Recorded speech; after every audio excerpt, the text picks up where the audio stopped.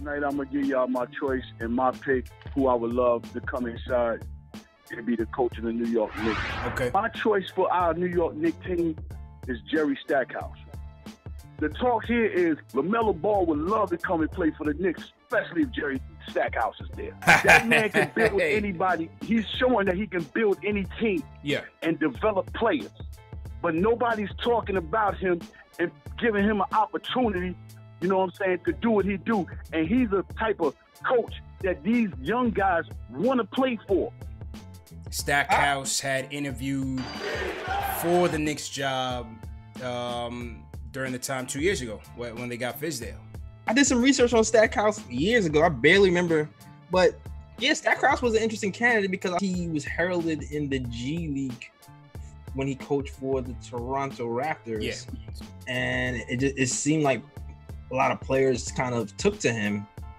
But um, I don't know if he was really a serious candidate for the Knicks, even though he was kind of in the mix only because he was a G League coach. Yeah.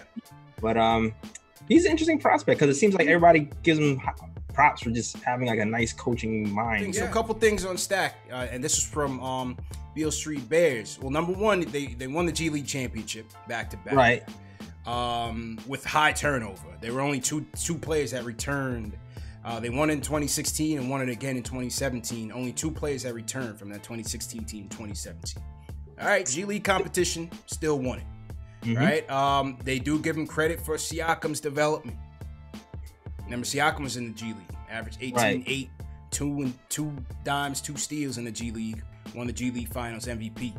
They also give Stackhouse credit for developing guys like Delon Wright, Fred VanVleet, you Mhm. know, another guy we've been talking about from the free agent standpoint. Yep. He's going to look to make some money. So they credit VanVleet's development on Stackhouse. Had a 700 winning percentage for two years with the, that Raptors 905 team.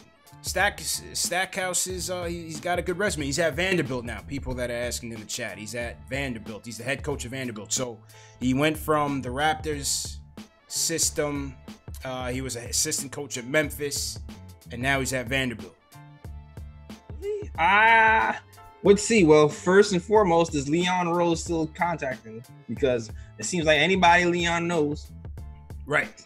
Has does a he have a relationship with Stackhouse? Maybe he does. You know, he's been in the league for quite some time. So again, you know, with Stackhouse and like with with Atkinson, with Miller, this is somebody that you want to be growing with the team, Jails. Growing Mm. with the team.